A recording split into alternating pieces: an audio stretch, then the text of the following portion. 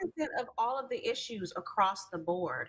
And I think that's how you know that people aren't sincere. When they just want to jump into the political ring at the highest level and think that they are qualified, then they're not there for the people. There, it's a Mhm. personal gain that they're looking for. If you really want to make a difference, if you really want to, you know, be there for the people, again, start at the low level, and like Jose said, and work your way up.